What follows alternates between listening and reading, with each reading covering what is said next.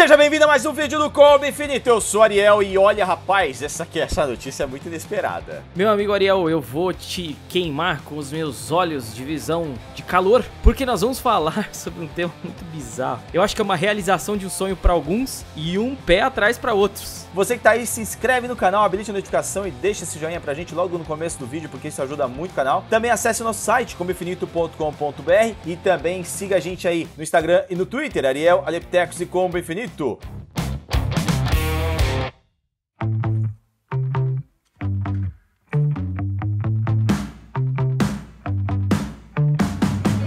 Aleptecos, a gente sempre vem falando, sempre que possível, do Nicolas Cage. Sim, A claro. gente é fã do cara, mesmo às vezes não gostando do trabalho que ele faz. Na verdade, eu já fui muito fã dele. Eu também. E todos os filmes que saíam, eu falava, meu Deus, eu preciso assistir porque tem o Nicolas Cage. A Outra Face é um puta de um filme. Lembra da Outra Face com Sim. o John Travolta? Puta filmaço. Puta filmar. O Nicolas Cage já foi sinônimo de filmes de ação, assim como Ian Neeson já, já é também atualmente, né? Ah, não, mas o Nicolas... Não, é outra, outra coisa. Ele já fez aqueles 60 segundos, cara. O filme era mais ou menos, mas eu, eu até gostava. É, era legal, era legal. Os 60 segundos era legal. Mas o Conner, eu lembro desse filme e eu assisti 300 vezes. E que ele era careca e cabeludo ao mesmo tempo.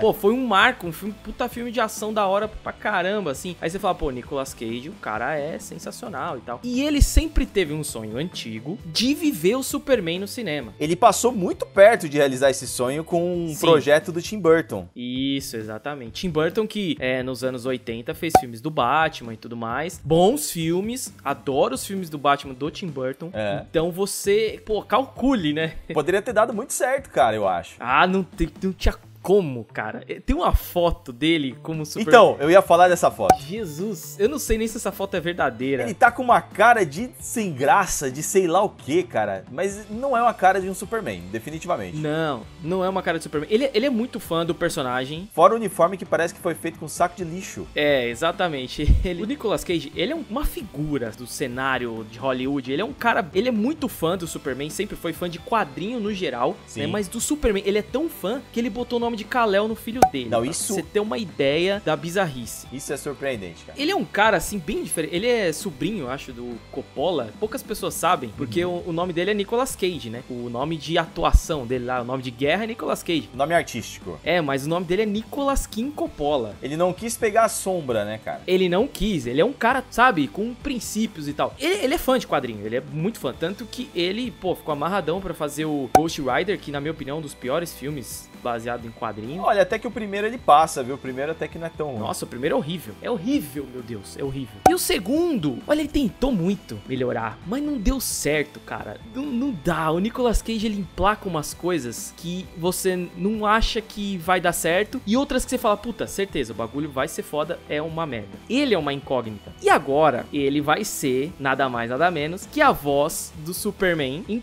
Teen Titans Go, né? Os Jovens Titãs. Sim, cara, é uma forma dele realizar o sonho dele de ser o Superman. Porque assim, não vai dar É. mais pra ele ser o Superman no cinema. Já, já passou a, a data, a época, a idade e também a razão, né? Não tem por que colocar Nicolas Cage como Superman. Agora, no desenho. Olha, eu, eu espero que ninguém queira mesmo. Não, acho que não. Acho que talvez só ele queira ainda, né? Talvez ele agora queira ver o filho dele, porque seria louco ter um Kal-El no papel do Superman. O Kal-El seria Kal-El e putz, Nossa. já pensou? Nasceu pra isso. Sendo filho do Nicolas Cage, um cara que talvez não seja lá bom ator, ele talvez não teria problema, né? De ser chamado de Kal-El, porque ele ia atender facilmente. Agora, o Teen Titans Go, ele é um desenho mais humorístico, né? Mais bem humorado. Ele tem uma veia cômica, ele não é tão sério, ele não é tão dramático, ele é mais levado pro, pro humor mesmo. Os caras já dão o tom da zoeira ao colocar Nicolas Cage como Superman. Isso, eu acho que essa é a intenção Os mesmo. caras já falam, olha, venham comigo porque, ó, a gente tem uma coisa muito divertida pra mostrar pra vocês. Agora, eu tô muito curioso, não sei se saiu algum trailer já, eu acho que só foi anunciado mesmo, né? Só, por enquanto só. Tô muito curioso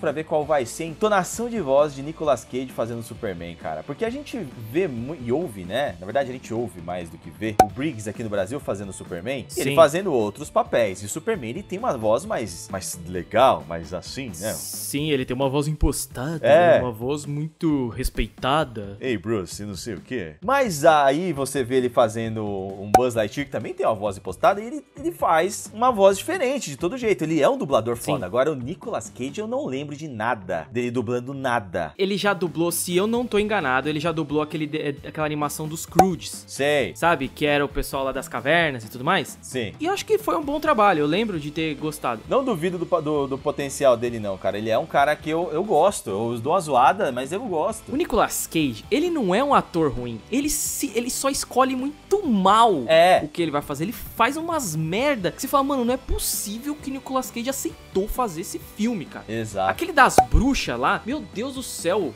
Que, que tinha na cabeça? E depois tem aquele. Mano, teve um outro lá que é o Vidente. Ah, cara. Nicolas Cage, vai se fuder, cara. Mas beleza. Tomara que ele faça um bom trabalho sendo o Superman. Porque é o sonho da vida dele era ser um herói decente, né? Porque o Ghost Rider, desculpa aí, mas eu acho que talvez nem tinha sido a opção, foi o que sobrou pra ele, acredito eu. É, ele queria entrar no mundo do- dos super-heróis. Aí os caras chegaram com uma proposta, ele falava que não, sei lá, ele tentava, não, quero ser o Superman. Aí deixava pra depois. Aí foi, foi ficando tão pra depois que ele ficou sem opções, porque o motoqueiro fantasma, apesar de ser legal, ele não. Não, o Superman precisa ser bonito, cara. Ele nunca ia ser o Superman. É. O Ghost Rider pode ser feio. O Ghost Rider é um esqueleto. É, pode ser ele, cara. Mas o Superman não pode. O Superman tem que ser um cara bonito. Não tem jeito. É igual o James Bond. Escolheram o Daniel Craig. O Daniel Craig é esquisitão. Mas ele tem um porte físico, pá e tal. Mas deu certo. E é um, é um bom ator. Mas o Pierce Brosnan é o James Bond. É o cara bonitão. Estiloso, é, elegante, pá, tá, tô sendo gay pra caramba, mas beleza. Então, é, eu acho que ele jamais ia conseguir isso. E pelo menos na voz, né? Não vai ser. Tá tranquilo. A voz pode passar, a voz, ele, ele sabendo interpretar, isso eu não duvido dele, ele vai fazer passar. Agora, eu quero muito ver essa veia cômica, eu quero muito... Eu nunca, não lembro do Nicolas Cage num filme de comédia. Talvez seja uma falha minha, de não ter visto o Nicolas Cage no filme de comédia. Mas num desenho de comédia, fazendo uma voz engraçadinha, promete. É, eu acho que eu acho que é curioso. Eu acredito que vá dar certo. Eu espero que dê certo, porque aí de repente, né, sei lá, pode podemos ver coisas mais legais com ele fazendo, com dublagem, com super-heróis e tudo Mas mais. tem muitos atores que lá fora são conhecidos por fazer a dublagem do Superman, nada mais. Tem um Sim, ator que sim. ele fez uma série, eu não me lembro agora o nome dele, mas ele é conhecido por ser o dublador do Superman. O Nicolas Cage pode ter encontrado um nicho. Sim, claro, sem dúvida.